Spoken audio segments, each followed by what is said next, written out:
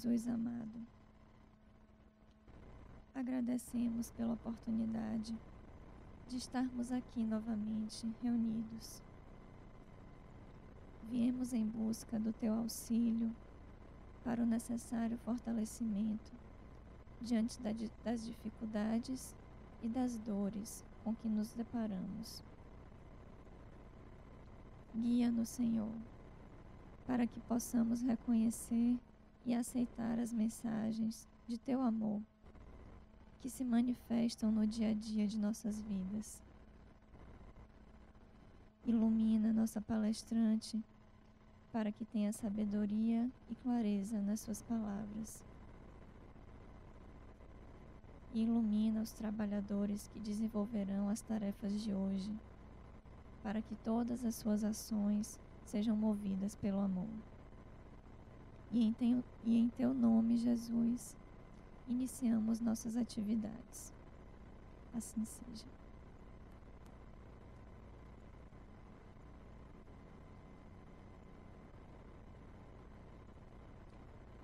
Temos o prazer de apresentar a palestrante dessa noite, Isabel Guimarães, que vai nos oferecer sua palavra e compreensão sobre o tema concentração mental.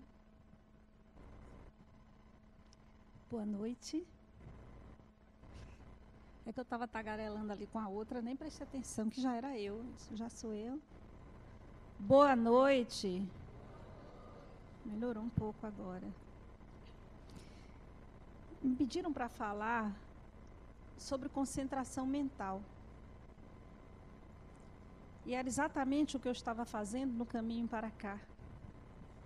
E refletindo sobre o que isso significa e o que isso pode trazer em termos de equilíbrio e de serenidade para as nossas vidas.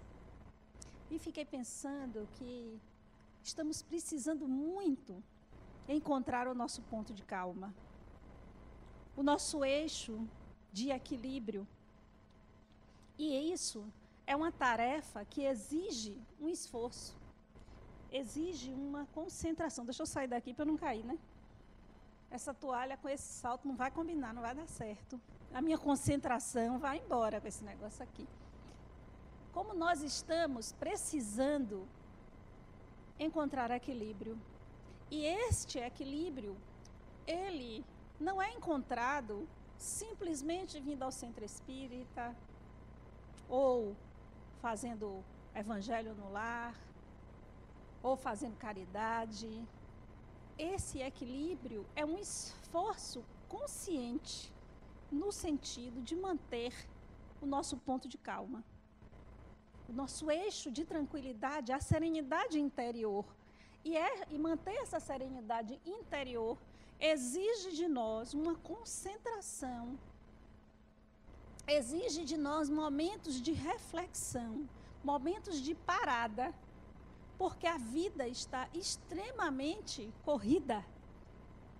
E a todo momento nós somos empurrados para fora do nosso eixo de equilíbrio. A todo instante nós estamos, às vezes, na paz de já, como dizem por aí. Abrimos o Facebook, com dois minutos a gente já perdeu a paz de já. Acontece isso com vocês?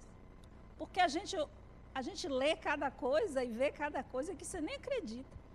Você pensa que voltou à idade das trevas, às vezes até, porque é tanta sandice, é tanta barbaridade, que se você não buscar de novo o seu eixo de equilíbrio, você entra numa onda mental de total desequilíbrio, de desajuste, e isso acaba reverberando em outras áreas da sua vida.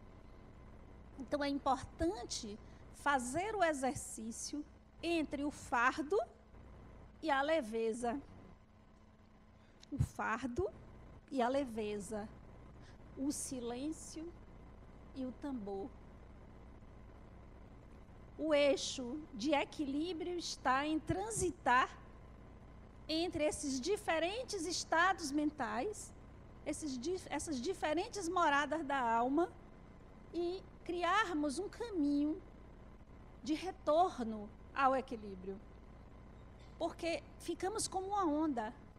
E não tenham dúvidas que a repercussão da onda mental coletiva no eixo do desequilíbrio, da desunião, do conflito, do confronto, do ódio, do preconceito e de todas essas mazelas que fazem parte da raça humana, que isso reverbera em nossas vidas. Isso acaba atingindo os nossos tecidos mais íntimos. E se nós não tivermos ou não nos mantivermos numa postura mental de equilíbrio para nos protegermos dessas ondas, nós embarcamos nelas. Aí já junta as nossas questões, as nossas dificuldades, os nossos enfrentamentos como espíritos encarnados que somos, portanto, estamos aqui num processo de aprendizagem, e esse processo de aprendizagem, todo processo de aprendizagem tem prova. Não é isso? Tem exercício. Então, os exercícios de aprendizagem desta encarnação já, já nos exigem muito. E se você não estiver o equilíbrio, se você não aprender a se proteger das energias do ambiente, promovidas não só pelos desencarnados, mas também pelos encarnados, porque tem gente que só quer responsabilizar os encarnados pelos seus desequilíbrios. Estou obsidiado, ok, tudo bem. Por que você está obsidiado? Por quê?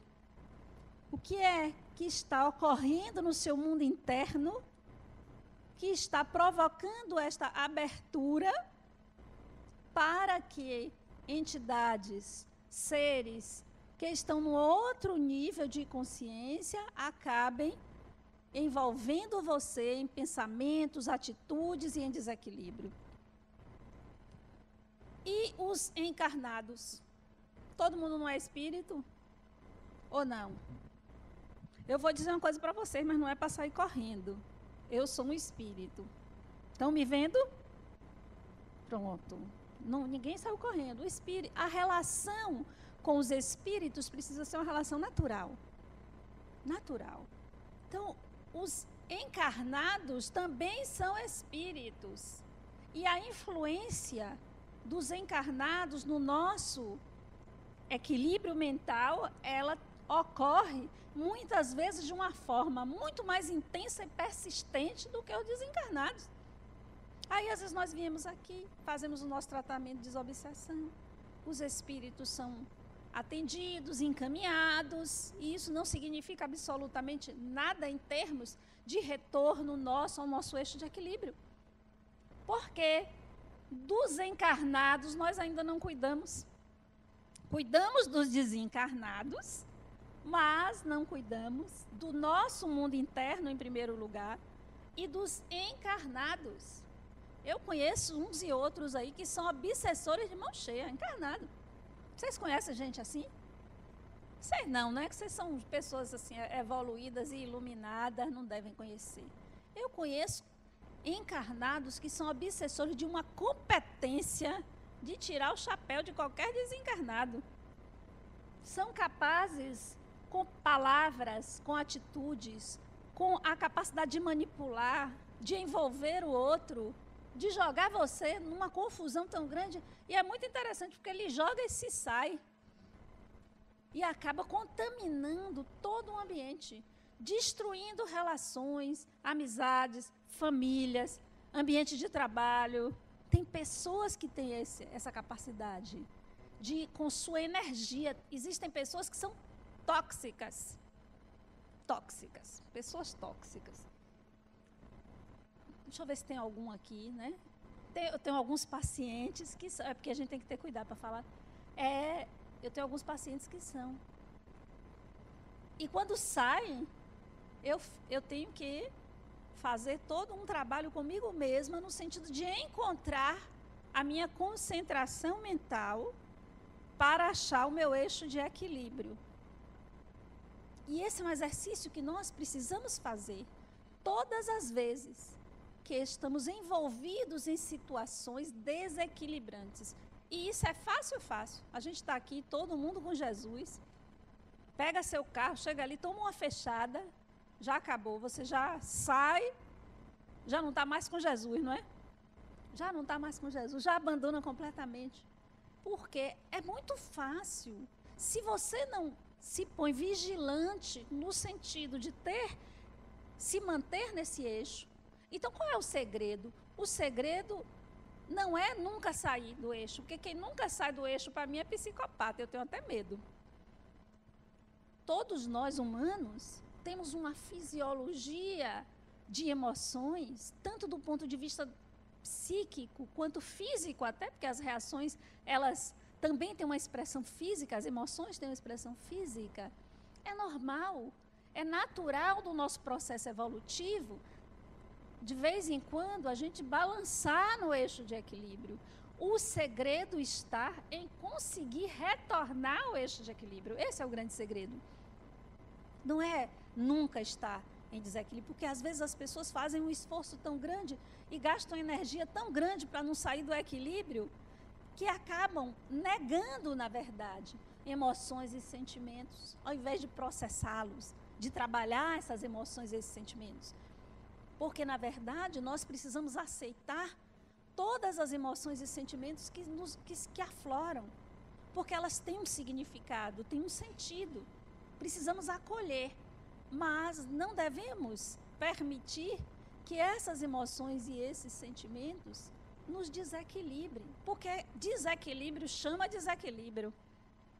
Quanto mais você alimenta esses sentimentos deletérios, negativos, fofoca. Fofoca, quanto mais você alimenta, mais ela cresce, não é isso? Porque fofoca é uma coisa arquetípica, assim, do inconsciente coletivo, é uma coisa é uma coisa bacana. Eu gosto de uma boa fofoca. Vocês não gostam, não? Ó, oh, não, não vale mentir aqui, hein? Uma fofoca assim básica, né?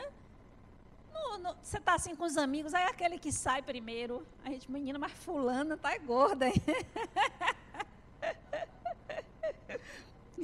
Esse tipo de fofoca fraterna, eu curto. Então, fofoca, eu estou falando daquele eixo ou daquele, daquela pessoa tóxica que acaba desequilibrando todo um ambiente. Esse tipo de situação, quanto mais você alimenta, mais cresce. Existem determinadas coisas que o melhor caminho é o absoluto silêncio. Silêncio, oração. Tem certas pessoas no meu ambiente de trabalho, tomara que não estejam me ouvindo agora pela internet, não é? Senão vou ter problema amanhã tem certas pessoas no meu ambiente de trabalho que quando eu vou ter reunião com essas pessoas, eu já lá faço logo uma prece, já entro logo pensando porque são pessoas, porque tem pessoas que têm a capacidade e lhe fustigam até que você perca seu equilíbrio. Então, você não deve permitir isso. E para não permitir isso, é preciso que você esteja centrado. Afinal, para que estamos aqui? O que é que nós estamos buscando? Estamos buscando religiosidade? Estamos buscando equilíbrio financeiro? Estamos buscando saúde? O que é que nós estamos buscando transformação? O que é que vocês estão buscando? O que é mesmo que eu estou buscando? Essa é uma das primeiras coisas que nós precisamos ter clareza para nos mantermos no equilíbrio. Para que os ruídos à nossa volta não nos tire do silêncio que precisamos em, diante de determinadas situações. É preciso saber transitar entre o ruído e o silêncio. Porque o ruído também se faz necessário em nossas vidas. Mas e o silêncio? Você tem feito silêncio para buscar esse equilíbrio? Você tem feito reflexões em torno da sua vida, da sua existência, do sentido da sua existência? Você tem feito reflexões em torno dos acontecimentos da sua vida, da sua vida de relação? Você tem refletido e procurado olhar de uma maneira diferente para as relações que não estão boas? Para aquelas pessoas que lhe trazem desequilíbrio? Como você tem refletido sobre isso? Ou você já está condicionado a uma leitura das situações e das pessoas. Porque a reflexão nos conduz a uma nova leitura. A reflexão profunda sempre nos conduz a um novo olhar e uma nova leitura sobre os acontecimentos e sobre as pessoas. Porque quando você não se dispõe a este equilíbrio, a esta concentração, a esta reflexão mental, você acaba atuando de uma forma em que você está sempre reagindo, nunca agindo. Você está sempre reagindo aos acontecimentos, ao outro, às atitudes do outro. Se você começa a uma explicação sobre algo que lhe acontece, concentrado no outro, responsabilizando o outro, você não está fazendo reflexão. O outro não tem nada a ver com seus problemas ainda que ele possa ser uma fonte geradora de uma dificuldade para você, porque quem decide o que é que faz com a dificuldade que o outro lhe cria é você. Esse problema é seu. Enquanto você estiver colocando o outro como centro da sua vida, imagine o outro que é o centro de gravidade no qual você gira em torno. Não, não é o outro. É sempre você, porque até quando nós decidimos estar com quem nos fustiga, estar com quem é um teste para nós, quando nós fazemos essa escolha, essa escolha deve ser consciente. É uma escolha minha. Às vezes eu atendo pessoas que dizem assim, Marbel, eu não tenho escolha. Não, escolha você tem. Sempre temos escolhas, sempre. Você pode não querer assumir as consequências da escolha que você está de fato desejando. Porque você está medindo as consequências e está dizendo assim, não vai dar para mim, não, eu não vou conseguir dar conta das consequências desta escolha. Então eu prefiro ficar do jeito que está ou fazer uma outra escolha. Esse nível de reflexão profunda que leva ao autoconhecimento, a percepção do que, que realmente lhe move, de quais são seus reais sentimentos Quais são seus reais desejos? Porque senão nós acabamos levando a nossa vida como se fôssemos dublê de nós mesmos e não a nossa vida de verdade. Aquilo que a gente realmente quer, aquilo que a gente realmente é. Ficamos o tempo inteiro representando o papel que dizem que nos cabe. Dizem que nos cabe. Até que ponto você é quem você acha que é? Ou até que ponto você tem uma ilusão a seu próprio respeito. Essa é uma tarefa que exige força, que exige coragem. E muitos de nós não têm a coragem de fazer essa reflexão, fazer esse balanço de vida, chamando para si todas as responsabilidades em relação a tudo o que lhe acontece. Chame para você. Isso é meu, esse problema é meu. Eu preciso analisar isso a partir da minha perspectiva e do que isso significa para mim. Qual é o sentido disso? Qual é o significado disso para mim? O significado psíquico, o significado principalmente afetivo. Porque às vezes o ego, às vezes quando nós nos deixamos levar simplesmente pelas emoções, sem parar para esta reflexão que exige silêncio, que exige concentração mental, nós tomamos decisões precipitadas assodadas, das quais um minuto depois nós nos arrependemos. A gente diz, mas por que, que eu não fechei essa boca um minuto antes? Já aconteceu isso com vocês? É. Eu falo direto comigo mesma. Se vocês me verem por aí falando sozinha, não estranhe. Não acho que eu esqueci de tomar meu Rivotril. É porque eu gosto de conversar comigo mesma e eu gosto de falar em voz alta. Coisa deve ser mania de palestrante, né? E comigo na, na terceira pessoa. Eu digo, Isabel, minha filha, como é isso? Isabel, saia, se concentre, saia disso. Eu converso comigo mesmo. E a gente deve sempre fazer esse diálogo com a gente mesmo, mas precisa ser um diálogo carregado de verdade. Carregado de autenticidade. Seja verdadeiro com você. O que você vai fazer? Com o que você descobrir a seu respeito é outra história, é outro momento. Mas é preciso que você seja verdadeiro, verdadeira para com você mesmo. O que é de verdade que está lhe movendo? O que é de verdade que você deseja para a sua vida? E mais, o que é que você precisa para ser feliz? Às vezes nós entramos em um redemoinho de acontecimentos é muito interessante, principalmente quando a gente escuta os problemas das pessoas, como as coisas funcionam de uma maneira encadeada e como nós vamos entrando num furacão de acontecimentos e a gente nem para para se dar conta onde foi o start, onde foi que iniciou, o que foi que aconteceu, ou o que é que a vida está solicitando, que mudanças, que transformações. Isso tudo só é possível se você dá um, uma parada. Se você para e se concentra para prestar atenção ao que está acontecendo no seu mundo interno e também à sua volta. A nossa desatenção para conosco mesmo custa muito caro em termos emocionais. A nossa falta de cuidado com as nossas escolhas, com as nossas atitudes, com aquilo que dizemos, com a precipitação com a qual nós julgamos o outro.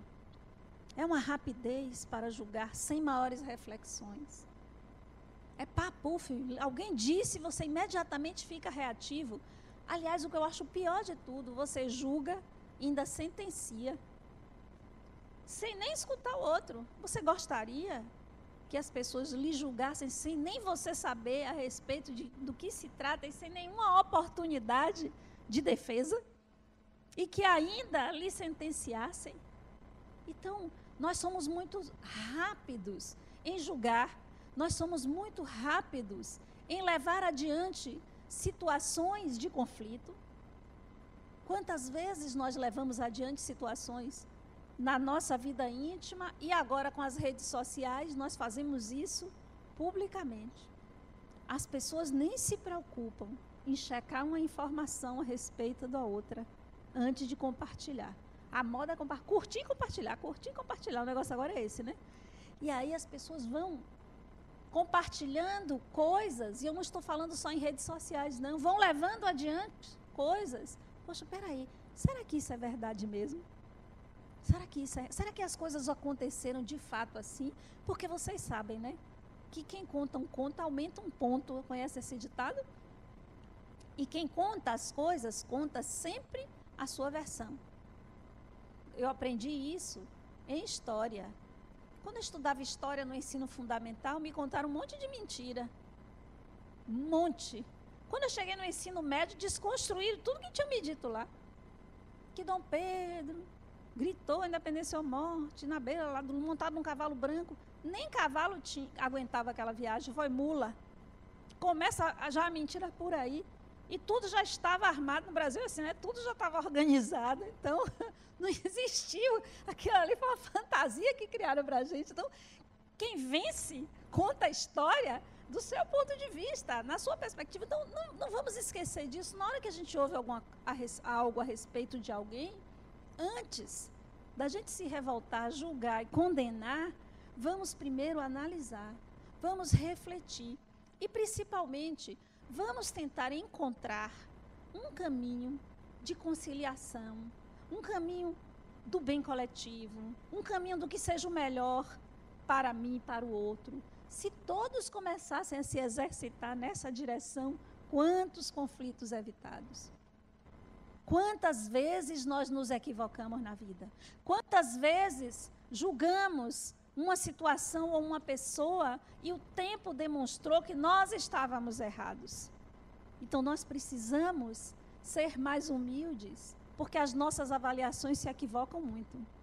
Muito a respeito do outro, mesmo porque nós temos uma tendência a avaliar as situações de uma forma maniqueísta, certo e errado, bom e mal. Não é assim? Ou melhor, ou. Não é nem ir. A questão é exatamente essa.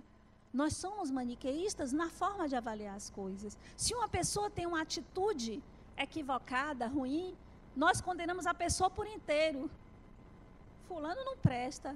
Mas tudo, a, se a gente se aproxima mais das pessoas, por mais vil que seja um ser humano, por mais atraso moral que esteja um espírito, tem luz.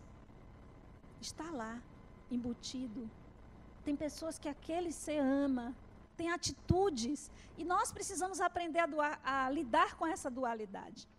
em nós mesmos, em primeiro lugar, porque quando aprendemos a lidar com a dualidade em nós, aprendemos a lidar com a dualidade no outro. Porque ninguém é só treva e ninguém é só luz. Ninguém é só bom e ninguém é só mal. As pessoas transitam entre uma coisa e outra, são atitudes. Eu não gostaria de ser julgada no dia que eu tiver a minha atitude mais bonita, mais altruísta, porque isso vai me engessar no nível que eu não vou conseguir sustentar. Mas também não quero ser julgada no dia que eu cometer o meu erro ou fizer a pior coisa, porque isso também vai me engessar e vai me estigmatizar. E nós estigmatizamos as pessoas. E a nós mesmos também. Às vezes nos vemos envolvidos em determinados padrões de pensamento sobre nós mesmos que nos apequenam, que nos diminuem. Ou às vezes nós estamos isso também em relação aos outros. Por pior que seja aquilo que nós fizemos ou fizermos, isso não significa que você é aquilo. Você é muito mais. Você é muito mais. Você é um espírito de Deus. Você resume em você um conjunto de experiências desde a época do reino mineral lá.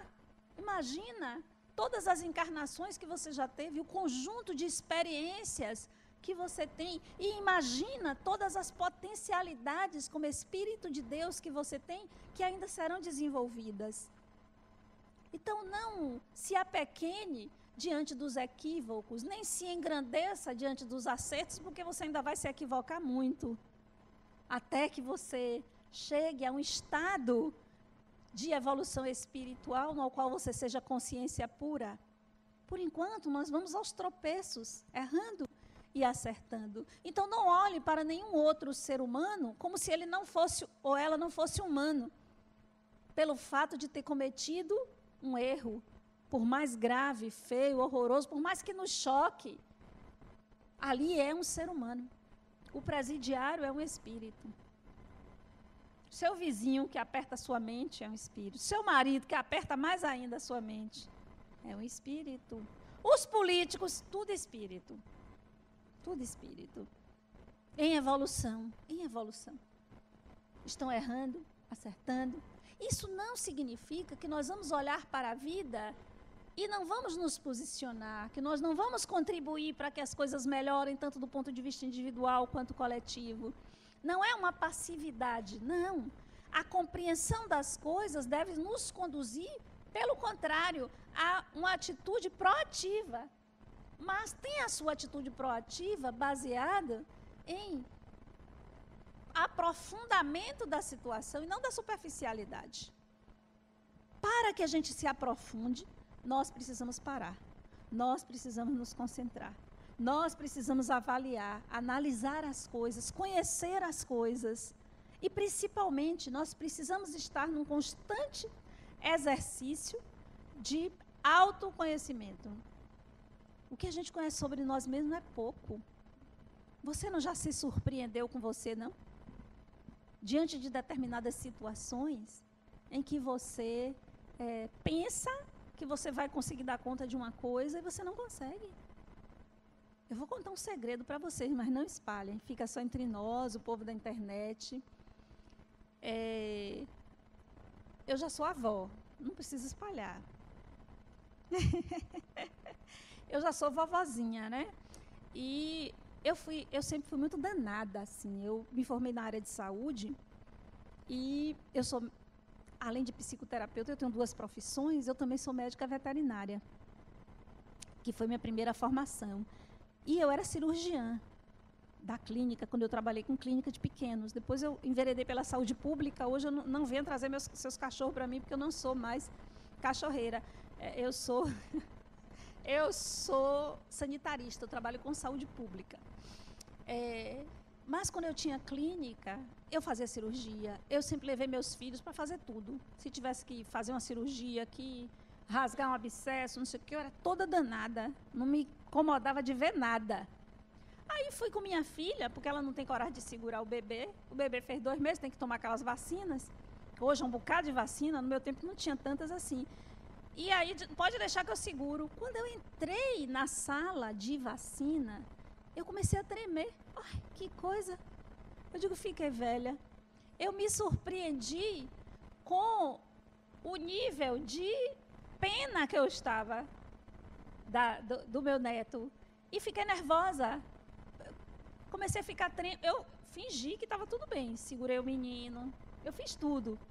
Porque eu busquei meu eixo de equilíbrio. Você tem, existem várias técnicas para você buscar o equilíbrio de respiração, de concentração mental, de pensamento positivo, para você não entrar no eixo do desequilíbrio. Mas foi uma surpresa para mim aquele sentimento. Eu já falei que na próxima eu não vou mais. Vá com o pai lá segurar, se vira aí nos 30 que eu não quero ir mais. Foi uma surpresa, é uma mudança. É uma mudança, é o desenvolvimento de uma sensibilidade que não tinha antes, que não existia antes. Então a gente muda. Ficar atento a essas mudanças, a esses ciclos que se abrem, que se fecham em nossas vidas é fundamental. Para quê? Para que possamos olhar os desafios novos que a vida nos coloca e fazermos escolhas mais assertivas.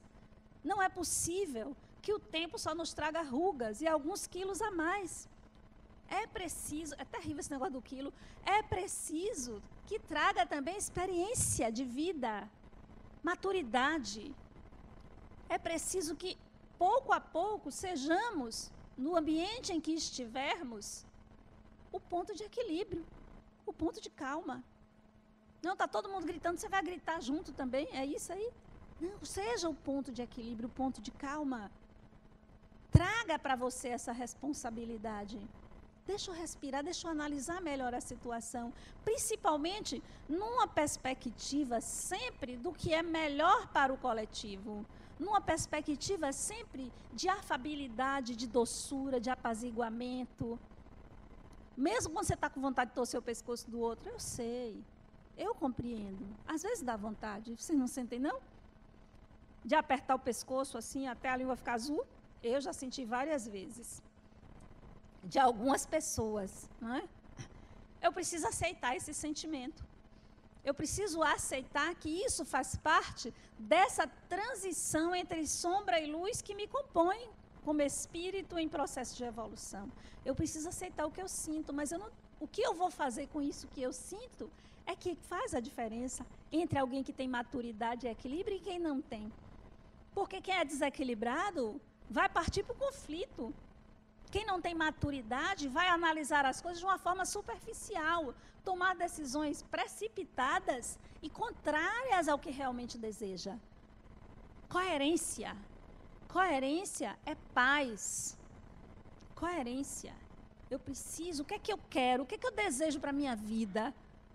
Se é isso que eu desejo para a minha vida, se é paz, se é equilíbrio, se é serenidade, eu tenho que analisar as situações e trabalhar nessa direção, não o contrário. Eu quero paz, eu quero equilíbrio, mas alguém olha para mim e diz que eu sou feio, eu digo você também, e, e aí a gente. Como? O que, é que você quer? Volto à pergunta de novo. O que é que você quer? O que, é que você está buscando? O que, é que você está buscando numa casa espírita, na religiosidade? Você está buscando o quê? É equilíbrio? Serenidade? Maturidade? Como você vai conquistar isso sem autorreflexão, sem silêncios, sem momentos de estar com você mesmo, sem olhar para os fatos e os acontecimentos e tentar entender numa perspectiva mais profunda, sem a superficialidade que muitas vezes tantas pessoas atuam diante de situações extremamente difíceis e complexas. Nenhuma situação humana, ato e atitude humana é fácil de compreender, não é extremamente difícil, é extremamente complexo. E isso não tem nada a ver, inclusive, com nível de intelectualidade, nem material, nem classe social. A atitude que a pessoa que limpa a empresa e do presidente da empresa é tão complexa quanto. Porque ali são duas individualidades, dois espíritos, em um processo de evolução, ocupando diferentes lugares porque estão passando por diferentes aprendizados. Mas a atitude de um e a atitude humana do outro é tão complexa quanto. Se você achar que está muito simples e fácil analisar a atitude de uma pessoa, você está errado. Você está indo por um caminho completamente equivocado, porque não é fácil nem é simples.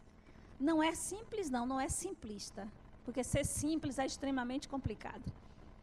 É, é, mas simplista é fácil.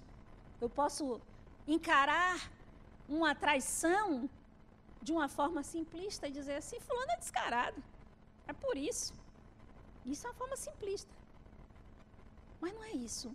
O que, que leva essa pessoa? O que está na gênese dessa atitude, desse espírito? Que contexto é que está envolvendo essas almas? Que história, ou que capítulo é esse da história dessas, dessas almas que estão envolvidas nesta situação? Que desdobramentos? De onde isso vem? Que desdobramentos isso terá? Numa perspectiva espiritual, numa perspectiva psicológica? O que é que conduz uma pessoa a uma traição?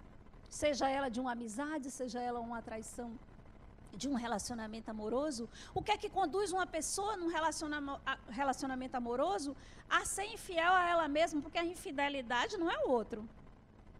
Eu costumo dizer, as pessoas ficam chocadas, eu chego em umas palestras às vezes, eu vou abrir aqui para vocês. Eu não sou fiel ao meu marido. Eu sou fiel à escolha que eu fiz. Não é o outro. O outro não tem essa dívida comigo, porque às vezes a gente põe a dívida de coisas que a gente não viveu, a gente põe a dívida no outro. Eu não vivi isso por sua causa. Não. Eu não vivo as tentações, e a tentação é grande, não é? E a carne é fraca, e a tentação é muita. A tentação eu não vivo porque eu, eu escolhi. E eu não quero ser infiel à minha escolha, porque eu acho isso completamente esquizofrênico. Você não ser fiel à escolha que você faz. Então você tem que analisar o que está lhe levando a ser infiel a você mesmo e a sua escolha. E não fazer uma análise moralista de uma situação. Não fazer uma análise moralista, porque papel, casamento, relação, nada disso funciona no psiquismo, não. Isso tem valor nenhum. Na hora que os, as emoções e os sentimentos afloram, você precisa entender o que está acontecendo com você. Porque papel nenhum vai segurar sentimentos nem emoções. E você não pode engessar nem negar isso, você precisa acolher e tentar entender, tentar compreender o que é que está acontecendo comigo, o que, que eu estou buscando, o que, que eu estou querendo, qual é o sentido disso, qual é o significado disso. Isso é ser profundo. Ser simplista é achar explicações fáceis, e as pessoas adoram explicações fáceis para as coisas. Às vezes, os clientes chegam para mim, ah, eu faço o quê? como se eu tivesse uma bolinha assim, se eu soubesse jogar na Mega Sena, algumas vezes não tenho bola. Eu digo, não sei. Eu não sei. Por quê? Porque a resposta não está em mim. A resposta está no outro. Se você for para algum terapeuta que ele diga qual é a resposta que você tem que dar para determinadas escolhas que você precisa fazer, ele pode lhe dar dicas. Pode ser isso, pode ser aquilo, quem sabe isso, quem sabe aquilo. E vai fazendo com que você caminhe numa, no aprofundamento do que está lhe acontecendo, para que você encontre as respostas, não respostas prontas. Principalmente quando são decisões que envolvem mudanças de vida profundo. É muito perigoso isso. Se você achar algum que faça isso, caia fora, que não é bom não, viu? O bom é aquele que leva você a refletir e que vai fazer reflexão junto com você levantando as diversas possibilidades, mas nunca determinando o que você tem que fazer ou o que você não tem que fazer.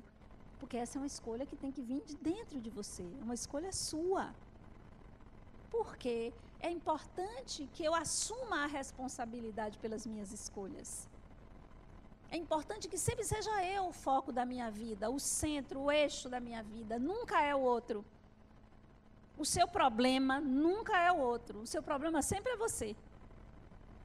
O outro são os desafios que a vida nos coloca para que a gente possa se conhecer melhor, se perceber melhor e evoluir. Mas nunca é o outro. Eu tenho dito que se alguém não gosta de mim, problema do outro. Mas se eu não gosto de alguém, problema é meu. Porque eu vou carregar esse sentimento que vai me incomodar. E eu preciso me libertar desse tipo de sentimento. Eu preciso, sempre que o fardo chegar, buscar a leveza. Buscar a leveza. Mas às vezes você fica agarrado no fardo. E aí você torna não só a sua própria vida infeliz, como a vida das pessoas que cercam você. Aí nós encontramos desculpas na vida do outro, para não olharmos para o peso da nossa própria vida. Às vezes usamos o outro como uma fuga das nossas questões. Quando a pessoa fica muito assim na religião, eu fico logo preocupada. Tem gente que quer trazer, a, não sei, aqui não deve ter ninguém assim, graças a Deus. Tem gente que quer trazer a cama para o, o centro. De manhã, de tarde, de noite, segunda, terça, quarta, quinta, sexta, sábado, domingo, eu já fico logo preocupada, achando que tem algum problema. Aqui é um lugar maravilhoso, um lugar em que você é acolhido, um lugar que você recebe energias não só para o seu corpo físico, mas também para o seu corpo perispiritual. É um lugar de concentração, é um lugar de religar e com o sagrado. Mas aqui não é o lugar de viver. A vida está lá fora. Aqui é o lugar de você receber energias, de você receber conhecimentos e aplicar lá fora. Não fique aqui, não. Leve, venha, se abasteça e distribua. Porque uma religião boa é aquela religião que promove transformação na vida de quem a pratica. Transformações reais. Não é discurso, não. Porque discurso não é difícil de fazer. Não é difícil. Teve neurônio, leu, estudou, aprendeu, fala. Se fosse assim, os políticos não seriam tão competentes em nos mentir para a gente, né? E eles mentem com uma convicção que eu fico impressionada. É uma arte. Né? Então, é fácil falar, envolver, iludir. Então, não é falar. Falar é importante, estudar é importante, aprender é importante. Mas eu pergunto para vocês: estão praticando? Estão na vida cotidiana de vocês, praticando tudo o que escutam aqui, estão sendo multiplicadores daquilo que estão recebendo? Com a família, com os amigos, no ambiente de trabalho. Ou você aqui chega todo bonzinho, chamando o outro de irmão, e chega no ambiente de, de trabalho e você vira um demônio, infernizando o ambiente, ou você busca seu eixo de equilíbrio naquele ambiente, ou você busca o apaziguamento, ou quando alguém lhe faz uma fofoca, você segura para você e não fica replicando. Ou você tenta compreender aquele colega que é difícil, aquela, aquela pessoa da família que é difícil para você. Você se perguntar por que, que é difícil, quais são os problemas que aquela pessoa está enfrentando, o que está na gênese daquela confusão toda que a pessoa está vivendo? Por que, que a pessoa age dessa forma? O que é que tem esse espírito? Olhe sempre para o outro como espírito. Essa é uma técnica muito boa. Sempre que eu vejo uma situação ou uma pessoa, eu fico pensando: o que, que essa alma está querendo? Não é? Essa alma está querendo. Às vezes a alma está querendo missa, como diz meu irmão. Essa alma está querendo missa. Essa, às vezes a, a alma está querendo alguma coisa. O que, que essa alma está querendo? Porque às vezes, às vezes você nem diz nada, mas só o fato de você vibrar na direção de querer entender o outro de verdade já muda a energia do outro com você. É impressionante. Assim como isso também é uma, uma proteção. Porque quando você está vibrando no bem, aquilo que o outro está querendo fazer com você de mal, você cria uma capa de proteção em relação a isso, porque você está vibrando em outra coisa. Quantas vezes eu já ouvi pessoas dizer, poxa, mas fulano não gostava de você, agora mudou completamente. Eu digo, ah, eu não gostava, eu nem sabia. Eu nem percebi, eu nem me, deu conta, nem me dei conta.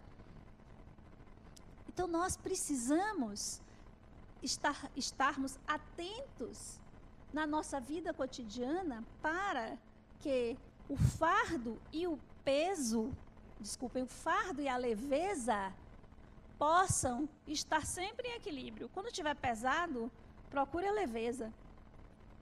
Quando estiver leve demais, veja onde é que está o peso para você carregar. E assim você vai transitando, transitando num eixo de equilíbrio. Equilíbrio. Então não procure ser alguém que traga o equilíbrio para o ambiente onde você está. Se concentre nisso. Não passe adiante aquilo que é negativo. Os conflitos, as desavenças, a maledicência. Que isso destrói uma relação, destrói uma família, destrói um ambiente. É essa pessoa que você quer ser? Não seja essa pessoa. Não seja a pessoa que leva a desavença, o desequilíbrio. Procure saber o que é que tem na sua vida, porque alguém que vive constantemente agredindo o outro, desequilibrando os ambientes, perdendo o eixo de equilíbrio por qualquer coisa e a todo tempo, é alguém em sofrimento. Se essa pessoa é você, descubra o que é que está na gênese do seu sofrimento. Se essa pessoa é alguém que você conhece, tente ajudar essa pessoa a descobrir o que é que está na gênese do sofrimento. Que insatisfação é essa? Por que, que essa alma está se debatendo desta forma? Sem encontrar um caminho de equilíbrio, de serenidade, de harmonia. E como nós estamos precisando disso? Como nós estamos precisando vibrar de uma forma mais harmônica. Tem gente que fica compartilhando coisas só o que não presta. Eu fico impressionada. E quando as pessoas compartilham gente doente, todo desgramado assim, com um bocado de tubo enfiado. Meu Deus, para quê? Eu não quero ver isso. Não, não mande para mim, senão eu lhe, lhe, vou lhe excluir das minhas relações. Eu não quero ver isso. Eu não preciso ver. Se você quer pedir vibração, oração, mande um pedido de vibração, oração, é fácil, não tem problema. Mas eu não quero ver. Eu não quero ver bicho sofrendo, gente sofrendo. Eu já sei que isso existe. Eu não preciso dessas imagens para impregnar a minha energia, a minha mente, o meu mundo mental. Não preciso. Eu já sei. Tudo que acontece no mundo, eu sei que acontece tudo isso. Eu vivo aqui, nesse planeta, e eu sei o que, é que acontece nele. Eu não preciso disso. Nenhum de nós precisa. A gente não pode ficar se impregnando com aquilo que é negativo, porque isso acaba fazendo com que a sua vibração fique nessa direção faz, lhe contamina de tal maneira que você fica num ciclo e você começa a enxergar também todas as coisas de uma maneira negativa. Compartilhe coisas boas, bonitas, belas imagens, para que aquele que está em sofrimento, seja num cárcere, seja num hospital, seja com alguém da família, passando por uma dificuldade ou você mesmo, possa ver aquilo ali e mudar de vibração, mudar de energia. Não, a pessoa já está mal ah, vou me distrair aqui um pouquinho no Facebook, eu vou entrar aqui na minha rede de amigos, encontrar lá alguém todo quebrado no hospital, cheio de sangue, a pessoa vai mais para baixo ainda. Mas se você encontra lá um coração, se você encontra lá uma imagem, um vídeo de alguém que fez uma coisa boa, um vídeo motivador, uma coisa bonita, aquilo ali pode fazer com que a pessoa entre em outra vibração. Então não compartilhe o que não presta, não vibre no que não presta. Não fique olhando para o mundo como se o mundo tivesse uma coisa horrível, que só tivesse coisas ruins. Tenha olhos de ver. Tenha olhos de ver. Jesus disse no Evangelho: Eu vim para aqueles que estavam, que são cegos, vejam. Então veja o que há de bonito na vida, o que há de maravilhoso no mundo. O mundo está cheio de coisas boas, de pessoas boas, de coisas bonitas, de atos bonitos. Mas aquilo que é passado para a gente é só coisa ruim, só notícia ruim, só notícia ruim. Nos impregna de tal forma que a gente fica pensando que está tudo ruim. E isso não é verdade. O planeta Terra está sendo sacudido por um grande processo de transformação. É isso que está acontecendo agora. Um grande processo. Então, seja você aquela pessoa que vai ajudar a passar por esse processo de transformação para que possamos ter um planeta de uma outra vibração, para que possamos reconfigurar a nossa forma de vivermos em sociedade, de vivermos juntos. É esse o convite, a grande transformação que está ocorrendo. Por isso que tantas coisas que estavam ocultas precisam vir à tona, porque só aquilo que está às claras pode ser percebido e transformado. Aquilo que está oculto não tem como ser percebido e ser transformado. Então, mantenha o seu eixo de equilíbrio, mantenha a sua concentração todas as vezes que alguém ou algo lhe levar ao, eixo, ao desequilíbrio, volte para o seu eixo. Reflita. Seja amoroso, seja leve, seja livre, seja gentil, seja bom. Obrigada.